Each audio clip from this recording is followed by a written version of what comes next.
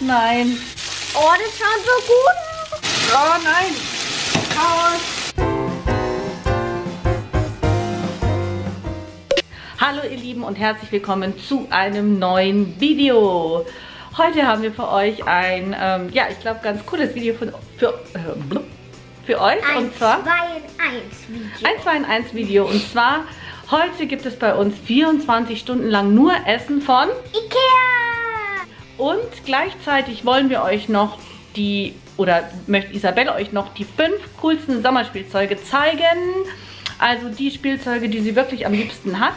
Diesen Sommer und äh, ja, das bauen wir dann so zwischendrin ein. Auf jeden Fall, wenn euch das Video gefällt, dann einen Daumen nach oben, drückt die Glocke, abonniert es. und, und schreibt uns doch auch, welche Spielzeuge euch vielleicht am besten gefallen, was ihr am coolsten findet oder was ihr vielleicht sogar schon zu Hause habt. Ja, und ähm, jetzt fangen wir, glaube ich, einfach mal an. Natürlich braucht man für Essen von Ikea, äh, muss man auch zu Ikea fahren, ist ja irgendwie logisch. Das habe ich gemacht. Jetzt gibt es erstmal Frühstück. Haben schon alle Hunger hier? Frühstück, Frühstück, Frühstück. Und dazu decke ich jetzt mal den Tisch und ihr könnt ja ein bisschen zuschauen und äh, dann zeige ich euch, was es alles zum Frühstück gibt. Wo bist denn du überhaupt? Bist du überhaupt da? Also, ich habe mir auch gedacht, damit das Ganze ein bisschen hübscher ist, da habe ich so eine Tischdecke noch mitgenommen. Das scheitert schon am Auspacken, ich krieg's nicht ab. Ich fand die so schön, die passt jetzt wahrscheinlich nicht ganz drauf, aber egal, auf jeden Fall ist es so ein bisschen so ein Eyecatcher für unser Frühstück. Eine Picknickdecke, oder? Nee, nee, das ist so eine, die können wir auch draußen mal, wenn am Samstag kommen Freunde zum Grillen, aber ich finde, die ist so hübsch. Schaut gleich alles viel freundlicher aus, oder? Ja. So, können wir später aufräumen. Zum Frühstück, äh, ich muss sagen, wir hatten sogar Tee, äh, wir hatten sogar Kaffee, schwedischen, aber ähm, das ist schon länger was her, dass ich das eingekauft habe und dann hatte ich keinen Kaffee und jetzt haben wir den schon aufgebraucht. Aber zum Frühstück gibt es jetzt auf jeden Fall Tee. Da ist es ein ähm, Früchtetee mit Pfefferminz und Kakao. Also könnte spannend sein und den mache ich jetzt als erstes. Ich koche jetzt mal das Wasser für den Tee. ja. Darf ich den Tee da schon mal reintun? Ja, ähm, guck mal, vielleicht, ich weiß es nicht, vielleicht, Das riecht richtig gut. Vielleicht drei Teelöffel oder so. Okay. Oh, riechst du's? Hm. Boah, wenn ihr riechen könntet. Oh, der riecht total nach, ich weiß nicht, Schokolade, ah, der riecht nicht so fest, der kriegt mal gleich hier ein Flash. Guckt euch das mal an. so schaut der aus. Darf ich mal? So, dann machst du jetzt noch, hm, ich würde mal sagen, drei Teelöffel rein.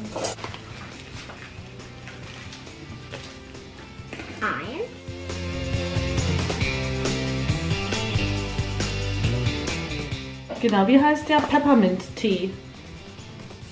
Pfefferminztee. Oh, heiß. So, das Wasser ist ja super heiß, das mache ich jetzt. Jetzt gießen wir mal den Ja. Tee auf und den können wir dann gleich auf den Tisch stellen. Ich bin ja gespannt, wie der schmeckt. Ja, ich auch schon. Ja, das sieht aus wie ganz normaler Kamillentee, oder? Ja, auf jeden Fall wie Kräutertee oder so, aber der Ja. riecht Wahnsinn. Guck mal. Ja.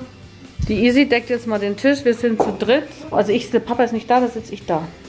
Wo? Der ist nämlich schon ganz früh weg zum Golfen heute. Und wir decken jetzt mal den Tisch. Die Isabel stellt jetzt gleich noch die anderen Sachen hin und zwar, ich zeige euch das mal. Zum Frühstück habe ich mir gedacht, wir haben einmal ein Müsli aus Marmelade. Schweden oder von Ikea, dann haben wir hier Marmelade. Was ist denn das für eine? Das sind ähm, Blaubeeren? Raspberry, Himbeeren und Blaubeeren. Hops, fokussiert wieder nicht, jetzt.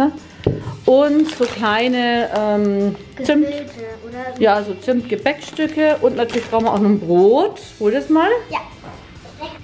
Was wäre denn ein schwedisches Frühstück ohne, guck mal, das mal hier hinlegen, Knäckebrot. Bin echt gespannt, was das für riesen, riesen Scheiben sind. Jetzt brauchen wir noch Messer. Aber Und Löffel? zwei Ausnahmen machen. Was denn?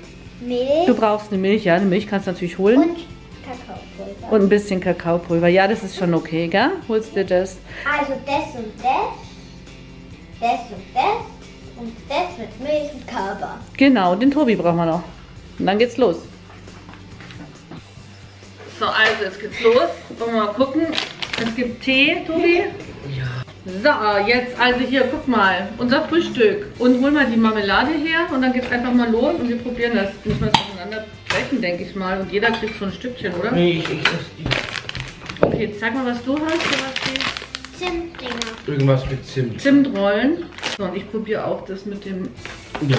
ich probiere auch das Knäckebrot, guckt. Oh, die Marmelade ist gut. Oder den Riecht Tee, der ist wahrscheinlich noch super heiß. Riecht eigentlich wie ganz normal Zimtschnecken. Ja, der Tee ist gut, der schmeckt wie Pfefferminz-Kräutertee. Also jetzt nicht Ach, mein. Lieblingstee. Iwi. Ist die Marmelade? Und wie schmeckt dir der Tee? Hab noch nicht probiert. das Magst du weiter rumrutschen, dann sieht die nicht so gut. Der Tee ist, der Tee ist, der Tee ist rot geworden. Mhm. Hä? Der Tee ist rot geworden. Nee. Doch, der war gelb. Der gelb am Anfang. Schau. Ah. Magic. Also, ist nicht schlecht. Hm. Die sind auch sehr gut. Knäckebrot schmeckt wie dieses frische Brot vom Bäcker. Mhm. Also Frühstück ist auf jeden Fall schon mal super. Mhm. Magst du das Müsli noch aufmachen? Das ist echt Ja, alles von Ikea, außer die Milch. alles von Ikea. Außer die Milch und der. Kakao, oder? Ja, Genau. Oh, das schaut gut aus. zeig mal. weißt ja, bei solchen Videos bin ich dann auch gleich wieder dabei. So naschen, ich mach das mal zeigen in der Nahaufnahme so ein bisschen, weil es richtig, pass mal auf das es schaut richtig, richtig mal große Früchte drin. Da sind richtig Ja. gute große Früchte drin. Hier sieht man es, das ist so da ungefähr drin. So, also Leute, ich muss noch schnell runter essen. Frühstück ist auf jeden Fall schon mal super und wir sehen uns gleich wieder. Ähm, fünf Sommerspielzeuge zeigen. Mhm. Top 5 Sommerspielzeuge. Das reicht, oder? Mhm. Da sind ja Sonnenblumenkerne drin.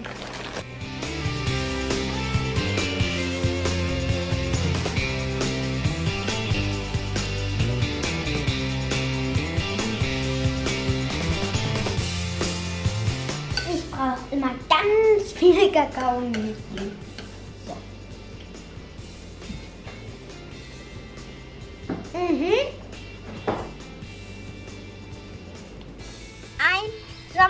Sommerspielzeug, das ihr im Sommer auf jeden Fall meiner Meinung nach ist ein Pennyball. Ich verlinke euch unten in der Infobox auch mal, wo ich das her habe. Und ich finde es auch richtig cool, weil man kann es überall mit hinnehmen. Es passt in, ist schnell mal ins Auto, in den Kofferraum. Und ja, es sind auch meine Lieblingsfarben.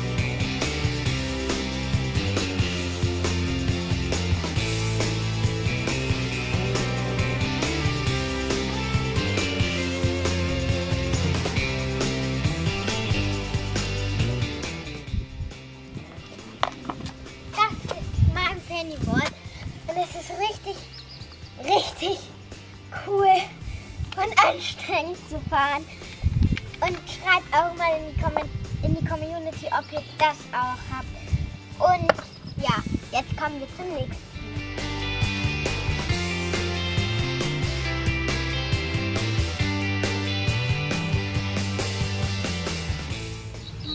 Was ich im Sommer immer brauche, sind auf jeden Fall Straßenneugrein. Ich habe hier eine riesen, riesen, riesengroße Schachtel mit Straßenneugrein. Da sind 50 drin. Und das verlinke ich euch alles auch nochmal unten in der Infobox. Das Tolle an Straßenneugrein ist auch, dass die ganze Nachbarschaft mitmalen kann. Und wir haben auch schon so viele große, tolle Kunstwerke gemalt.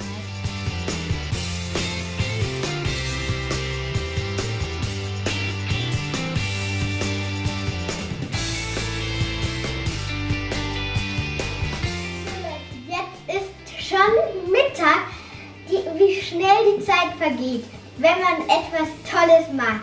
Und was bei einem schwedischen Essen natürlich nicht fehlen darf, sind Köttböller.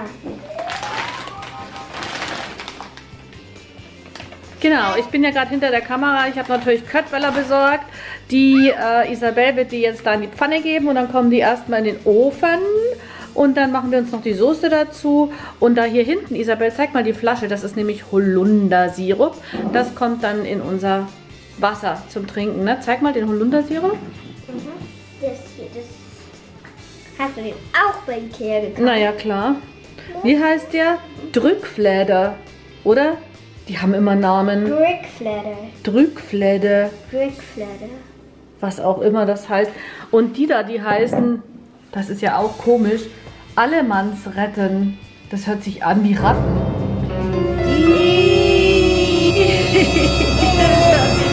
Gar nicht auf die schmecken. Wieso heißen die eigentlich nicht Köttböller auch? Hä? Doch, das ist schon richtig. Das ist. Vielleicht heißt es auf Schwedisch gar nicht. Auf jeden Fall werden das Köttböller, wenn es fertig ist. Ganzen Pfanne verteilen.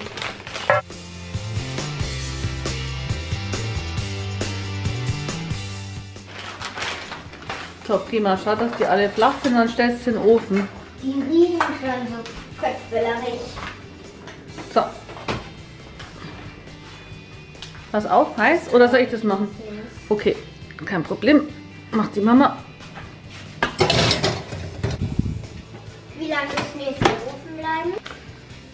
Steht denn da? 12 bis 15. Nee, warte mal, im Ofen haben wir sie ja. 15 Minuten. Und dann machen wir noch die Soße dazu. Preiselbeeren haben wir natürlich auch. Wie heißen die denn? Sylt Lingon.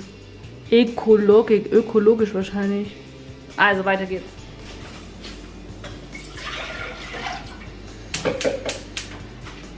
So, Wasser habe ich jetzt schon rein. Jetzt kommen die, kommt die Soße dazu. Oder das Pulver. Normalerweise mag ich das nicht so gerne mit dem Pulver, aber ist halt jetzt so. Einmal. Isabel, magst du mitmachen und rühren? Ja, rühren, Baby, rühren, rühren, rühren. Lass mich erst mal das machen. Zeig mal her. Kannst rühren. Na, ich bin noch mal gespannt. So Päckchensoßen mag ich normalerweise nicht so gern. Du? Ja, ich kenne die nicht. Ja, hast du ein Päckchen? Ja eben, weil wir sonst immer selber die Soße machen. Ach so. Jetzt schauen wir einfach mal, ob es Wann schmeckt. haben wir das letzte Mal Köttbullar gegessen? Das ist schon lange, lange her. Ich habe schon mal ganz selber gemacht. Kannst du dich erinnern? So, jetzt schauen wir mal, was die im Ofen machen. Guck mal, die schauen ja mal richtig gut aus. Da kommt jetzt nämlich dann die Soße drüber, oder? Oh nein. Kocht. Ah, scheiße. Ah, tut's weh. Nein. Alles gut, ich mache jetzt aus. Lecker, lecker. Ja, aber die werden jetzt fast übergekocht. Ich habe ausgemacht, es kommt jetzt noch da über die Köttböller drüber. Oh, das schaut so gut aus. Oh nein. Äh,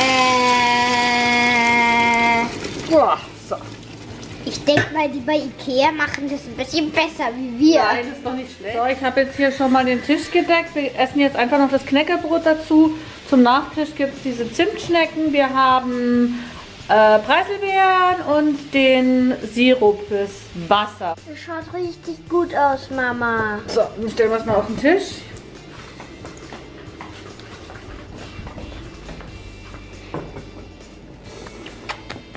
Soll ich Tobi holen? Ja. Unser Mittagessen ist auf dem Tisch. Die Kinder können es kaum erwarten. Ich habe noch überhaupt keinen Hunger. Ihr nehmt euch jetzt einfach mal was und fangt an. Ich kann jetzt nicht schon wieder was essen. Schaut auf jeden Fall ganz gut. Ja, es wird reichen. Pass, pass, pass, hab verbrannt. Echt? Geht, Schatz? Ja, ja. Mega gut. Schmeckt's gut? Mhm. Echt? Ja. Die Tütensoßen sind ja nicht immer so. Heiß, Isabel. Heiß, heiß, heiß. Tobi, was sagst du? Mega, oder? Mhm.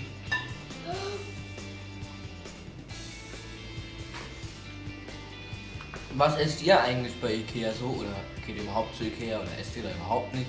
Dann könnt ihr mal auf Instagram uns schreiben. In die Community. Ja, oder auf Instagram.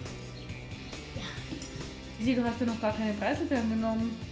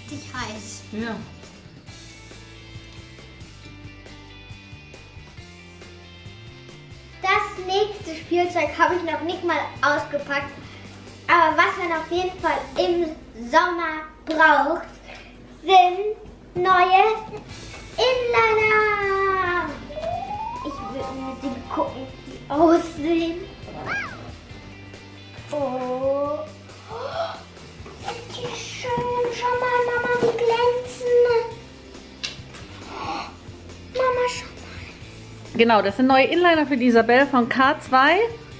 Das ist eine Weil Inliner sind eigentlich immer bei uns beliebt, oder? Also Inliner, da wird immer mitgefahren. Alle Nachbarskinder düsen durch die Siedlung. Und der Isabel, ihre waren viel zu klein. Also Inliner sind auf jeden Fall ein Gott, Top, viel, viel, viel zu klein. ein Top Sommerspielzeug. Aber was musst du anziehen, wenn du fahren möchtest? Zeig's mal. Handschoner. Helm, der ist noch nicht da. Da. Handschoner auf jeden Fall. Ich sag zwar auch immer Knieschoner. mm. Wären schon gut. Guck mal, aber die hat sie schon da unten auf die Seite geschleudert. Eigentlich bin ich dafür, dass, Knie, dass Knieschoner, Knieschoner auch angezogen werden. Aber okay, gut, einen Helm musst du auf jeden Fall anziehen, ne? Kann schon. Das hat da damit nichts zu tun. Es kann ja auch sein, dass du einfach mal über einen Stein fährst oder dass dich jemand über einen Haufen fährt und das tut furchtbar weh.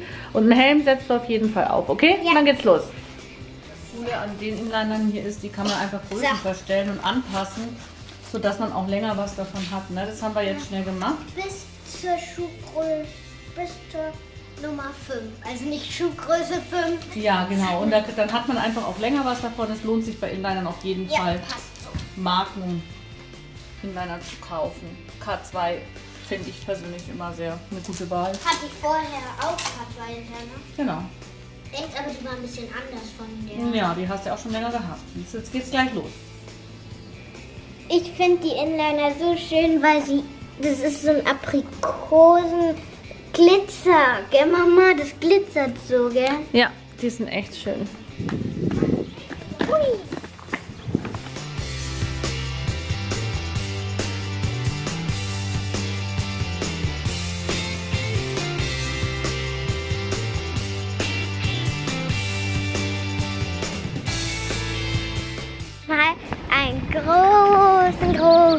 Großen, Bogen. Ne? Und ja, so, ups.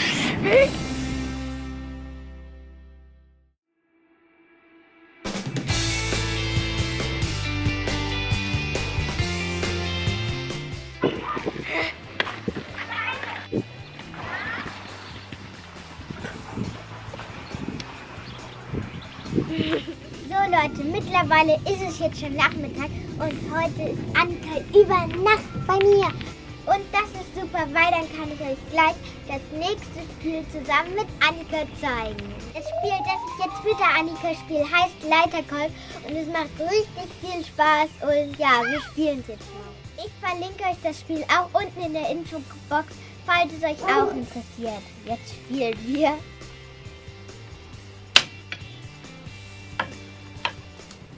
Und jetzt? Ja. Oh. Annika, oder? Ja. Glaub schon.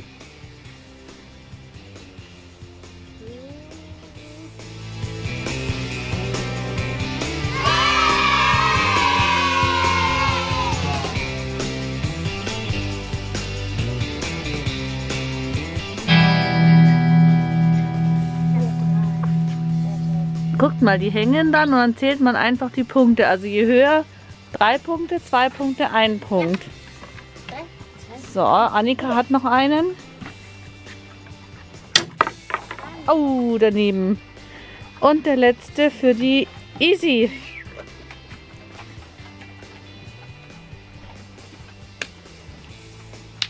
Oh, der ist voll weggesprungen. Hast du es gesehen? Darf noch mal. nee, du darfst nicht nochmal. Das macht man ja auch mehr so zum Spaß, ne? Ja, Okay, dann darf ich auch noch mal. Du darfst auch nochmal.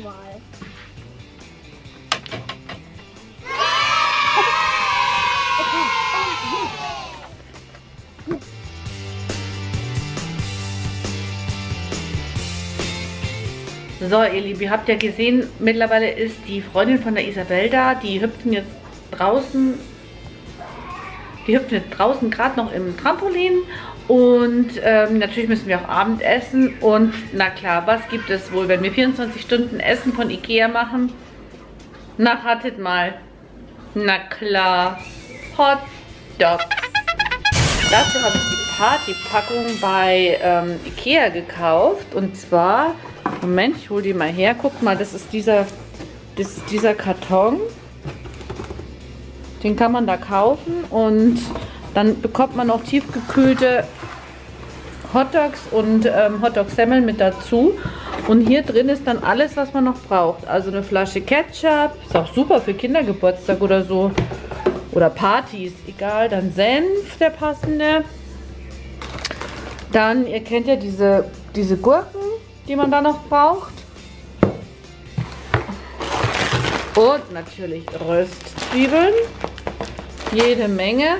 Und was ich total cool fand, sogar diese, sogar diese, diese Tütchen, wo die immer drin sind.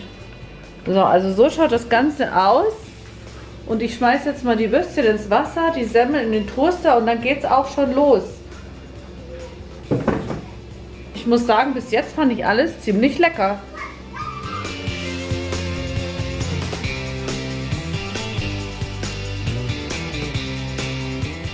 Also ich fülle das jetzt trotzdem mal um in so kleine Schüsseln, damit wir es auf den Tisch stellen können.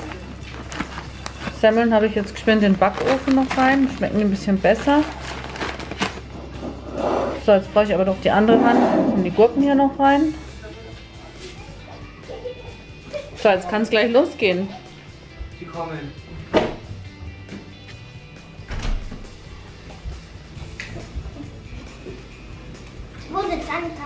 Neben dir? Da ist er. Also, wie schaut's aus? Wie original Ikea, würde ich mal sagen, oder? Die Auf jeden- Diese typischen Kantinenboxen, diese aus Metall. Genau. Dann lasst es euch schmecken. Mal kommt schon mein erstes Ketchup. Alles kann man machen, wie man will. Ich mach so wie ein normaler Hotdog. Äh, den muss ich kennen.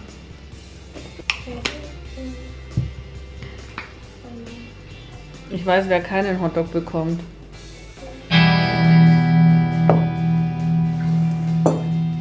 Die schauen doch mal richtig lecker aus, oder? Ja. Oh nein, meiner ist aus dem. Nein. Was ist es auseinander? Ja. Mhm. Fällt alles raus. Also Leute, lasst mal ein Like da, wenn euch das Video gefällt. Und schreibt doch in die Community, ob wir so ähm, Essensvideo nochmal öfter machen sollen, beziehungsweise was ihr da sehen wollt. Ich glaube, ich und Easy, uns schmeckt das ganz gut. das glaube ich auch.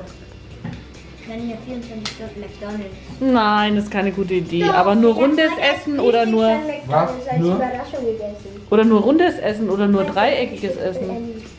Warte, lass mich überlegen. Rundes Essen, Burger. Also guten Appetit. Bin so voll. Bist du auch so voll? Ja. Ein bisschen Bewegung wäre jetzt toll. Wie wär's mit Waveboard fahren? Ja, komme! Waveboard fahren ist jetzt auch mein letztes, coolstes Sommerspielzeug. Das hier ist mein Waveboard. Ich finde es richtig cool.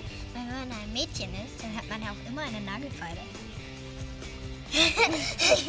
Haupt nichts Schweres zu lernen. Man muss nur wackeln mit der Hüfte und Das Lied Wellenbewegungen. Wackel mit der Hüfte. So habe ich es easy beigebracht. Wackel mit der Hüfte. Wackel mit der Hüfte. Wackel mit der Hüfte. Wackel mit der Hüfte. Wenn ihr wissen wollt, wo ich dieses coole Raveboard her schaut einfach mal bei mytoys.de vorbei und ich verlinke euch das alles auch nochmal in der Infobox. Und jetzt fahren wir, okay? Ja, eine ganze Runde. Eine ganze Runde, also um den ganzen Block. Okay, warte.